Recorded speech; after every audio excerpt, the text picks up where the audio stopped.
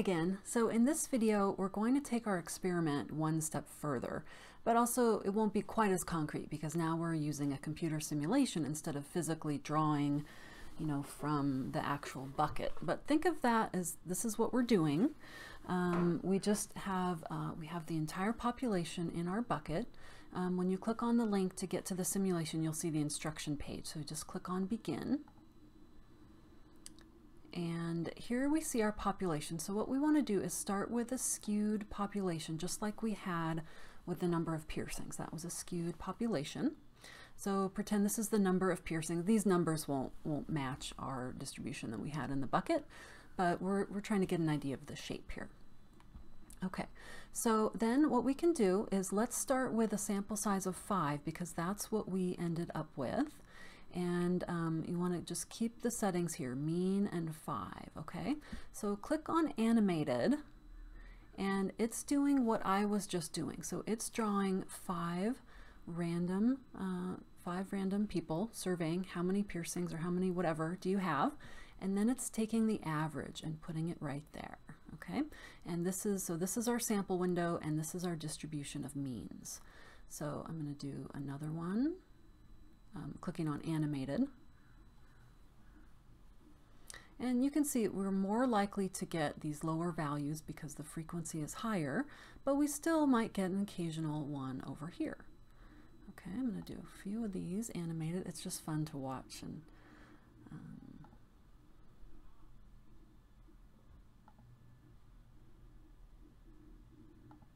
see if you can predict what's going to happen. Okay, now you might get tired of doing that, so you can do five at a time. Or you can do 10,000 at a time. That would take all day with the green bucket. Or you can do 100,000 at a time. And you can kind of see how many repetitions you have over here.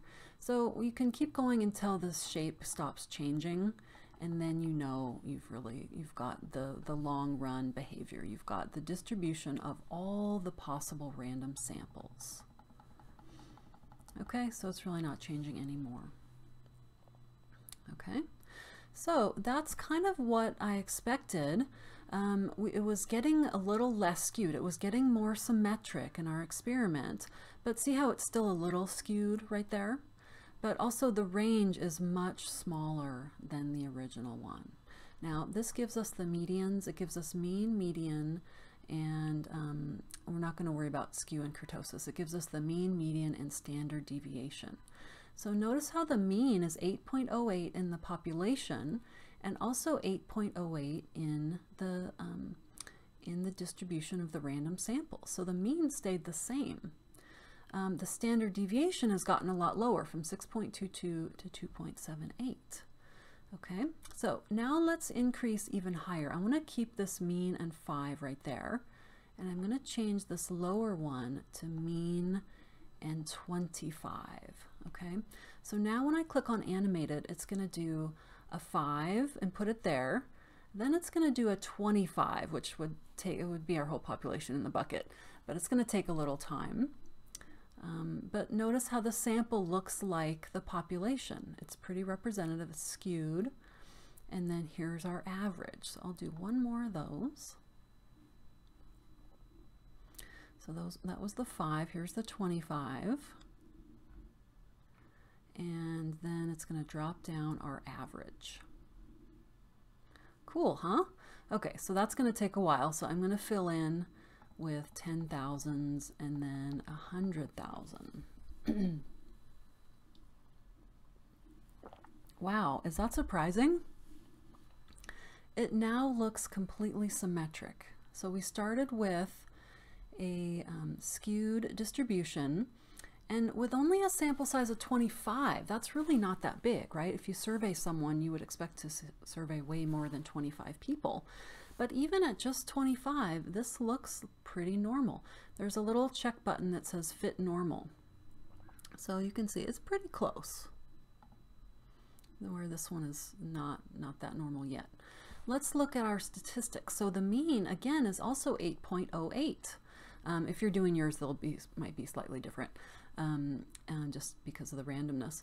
Um, and then the standard deviation is now 1.24. So it went from 6.22 to 2.78 to 1.24. So it seems like the bigger our sample size is, the, the more we average, the narrower our distribution is going to be, okay?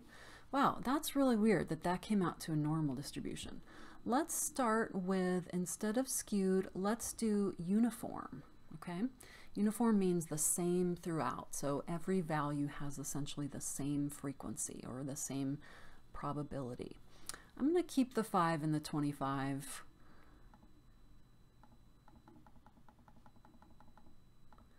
I'll do some fives first, and now I'm just doing the 10,000s and the 100,000s. Wow, so this came out pretty normal right away, even with five. That's because it's symmetric. And then also, so the 25 also looks normal. So um, let's double check our means. The This little red bar, I think, is the standard deviation, and this line is the mean. So the means look really close, don't they? Um, 16, 16.01, and 16. And the standard deviation went from 9.52 to 4.26 to 1.91. Wow. So again, we got a normal distribution. Another fun thing you can do with this is a custom distribution. So here's one I like. It's called a bathtub distribution, bathtub curve, where um, human life and just parts, they tend to be uh, more likely to fail uh, or die at the beginning of life. Then it's fairly stable for a while and then more likely to end uh, at the end, fail at the end. So that's called a bathtub curve.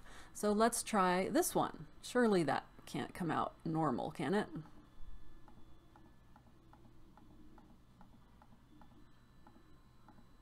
What? Okay, so a little uh, funkiness in the sample size of five. That's a very small sample size. It's not really, not looking too normal, but it's fairly symmetric. But look at by with only a sample size of 25, it looks pretty normal. Again, we see the same thing with the means. Um, the mean is this blue one here, actually. Um, it's just that they're overlapping with the red. I, I get the color coding now. Um, so the mean was 16.97 16.97, 16.97. Standard deviation went from 11.27 to 5.04 to 2.25. Okay, so really um, it seems like it doesn't matter what our original distribution is. You can also, uh, let's, let's clear this for a second. You can also do kind of make kind of like a skyscraper. I'm just dragging my mouse to make this distribution. Excuse me. So now I've got kind of like a city, this is not a statistical distribution, but it looks kind of like a cityscape, like a downtown skyscrapers. So let's try this one. I challenge you to find one that does not come out normal after uh, in, in the 25 area after you get to a steady state here. Okay, it's not changing anymore. So this one was even a little better than the bathtub um, because there's, there's a little more in the center to draw from. And it looks fairly normal even at 25. So our means again are the same. So the mean doesn't seem to change. It's just that when you take averages, it pulls everything towards that mean, okay? Standard deviation gets smaller. Now, let's try one more thing. You might be wondering, well, what if you start with a normal distribution? I'm only going to do the 5 here to start with. Okay, does it kind of make sense that if you start with a normal distribution, your samples, even if you only do 5, is still normal? Um, this does give me a chance to do two, so let's do that. Yeah, so even with two, if your population is normal, your samples, your the distribution of your random samples will be normal. So we don't really have a sample size requirement on that one. And then of course anything higher is definitely going to be normal, but let's look what happens to the mean. I'll change this back to 5. So what happens is the standard deviation changes. So when we average, the more uh, we, the more values we average together, the narrower the distribution gets. In this case, our standard deviation went from 5 to 2.24 down to 1. Okay, and the means stayed the same. Okay, so thanks for playing along with this experiment. I hope you tried this out yourself or feel free to play around with it. And I will summarize this on the notes in our next video. Okay, so I'll see you there.